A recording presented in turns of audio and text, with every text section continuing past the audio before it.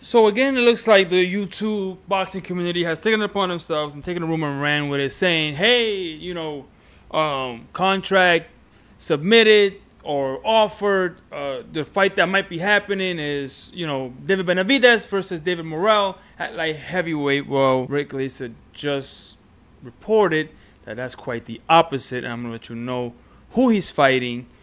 In a minute, and I'm also going to play some video clips as I give some analysis on the situation of that said fighter while I'm talking, so you could get to know that fighter a little bit if that's the true indeed the direction he's going in. But first, if you're new here, thank you for stopping in. Please consider subscribing, and if you are a current subscriber, thank you for helping out the community that I'm trying to build out here. It's a very small community, but I'm trying to build it out. So thank you very much for being part of that journey. Now, Rick Glazer had just reported on X that unlike the wild reports that's been going around, again, People trying to be first. They tried it with Tank versus Valenzuela, which is not happening, and now it looks like it might be Roach. But again, now now now all of a sudden it turned into um oh what's that kid's name that just that just recently fought um uh executioner Shakur Stevenson. is that the executioner they calling him?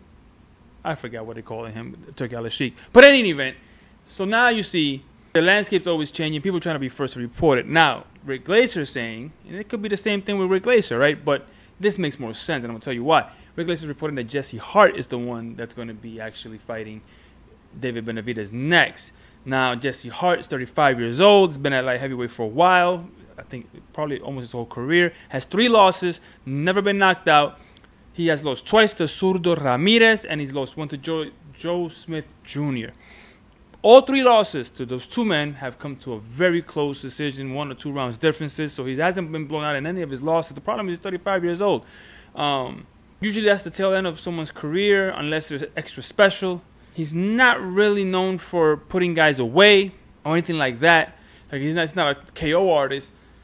And while David Morrell is the fight that we, we should have seen at 168, at 175, I'm going to tell you why it's a good move on David Benavidez' part not to go the David Morrell route, where one is the last fight he had. In the last fight he had, we found out that maybe like heavyweight might be his ceiling, and they might have to rethink some things and retool some things, right? You can't retool and fix things against Morrell. Morrell is probably going to come in with a chip on his shoulder is going to try to knock you out. He's he's a he's a quality quality quality prospect, and to take him in your second bout at light heavyweight after you just experienced, you know, your former sparring partner taking you to task in a new weight class might not be the smartest idea. So what do you do? Well, you pick somebody who can present a slight challenge and doesn't have a bad record and, and has never been blown out in a fight and has had some good opposition even in losses, although those has been his losses. Um, want to work through those mistakes or through those things. Like what went wrong the first fight? What can we work on?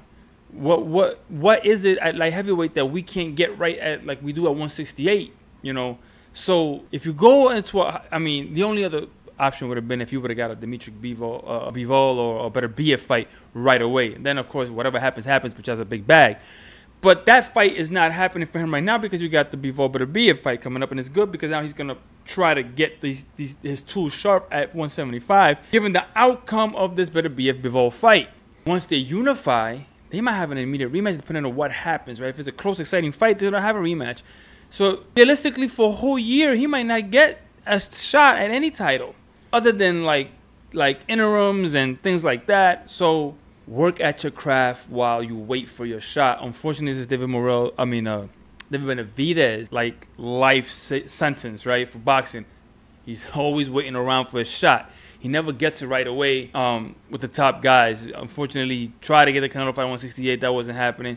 He's trying to get it here at 175. He probably won't get it unless, like I said, Bivol or Beterbiev gets steamrolled and no one exercises the, the, the rematch clause. And then you have Benavidez versus said winner, but not after Jesse Hart. So I think it's the right move to do. You don't want to go in there at 175 when you just found out that you might not be that monster at 175 or you run 168. So you want to want to work on those things and strategies and change the game up a little bit to kind of fit that new weight, right? And see what you got and try to work at it. Because I'm telling you, if you were to come into David Morrell, Morrell just, he's, like I said, he, I'm not saying Morrell beats him, but I'm saying it will be extremely, extremely risky with a guy like Morrell who can pop, who can move, who can jab, and is going to give you hell and you just struggle with your sparring partner. So at the end, that's what I'm saying. I think it's the right move for his team while they wait for the Beterbiev Bivol thing to kind of sort itself out and see what the landscape of the light heavyweight division looks like, and then go ahead and say this is the next move going forward. Hell, he might have to move back down to 168 after Jesse Hart. I mean, Jesse Hart might give him some problems, and if Jesse Hart gives Benavidez problems, he will want no part to Bivol. He's gonna want no part of Benavidez. I mean, of Beterbiev, and he's gonna want to move down to 168. The problem moving down, now he's still young enough to do so, so it might not be a big deal. But sometimes when fighters move back down after moving up, it ages them quicker, and their punch resistance seems to go down as their body's not used to being at a higher weight class. As it's early at 175, I don't think it should be a big deal. But they might find out after Jesse Hart, if that's true indeed the true opponent and not David Morrell, which I hope is not, that if Jesse Hart gives them problems, they're gonna have to want to move back down because you can't keep moving up because nothing is gonna get better at cruiser. It's just gonna get worse and worse and worse as you keep going up. So that's what I think. I think you go into Jesse Hart and Beally, then you move into, you know, um, oh, not in Beally. I'm sorry. Um, who's that other guy? I'm thinking of another person. But anyway, you want to move up. You want to kind of just keep sharpening your tools. And if he steamrolls Jesse Hart, then we say, okay, maybe he's getting acclimated, and then whatever happens with, Bivol and Beterbiev, if that's the next fight, the winner of that, then we whatever happens there happens there. But let me know comes down the middle. What do you think? Do you think that Jesse Hart should be the right move, or do you think David Morrell should be the next move? Do you think this is the right thing to do? Just kind of staying busy to see what the Bivol Beterbiev fight is, because if you can't get Canelo, Beterbiev or Bivol is the fight you want to see, right? Something that comes down below. What do you want? What do you think? And then so in the next video, I'm out. Peace.